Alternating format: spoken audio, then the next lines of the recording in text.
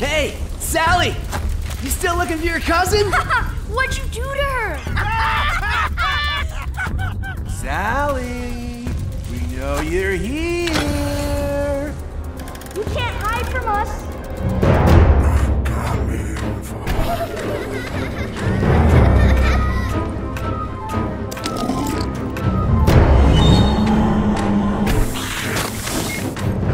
Still a chance for you to make things right, Sally. You must find Emily.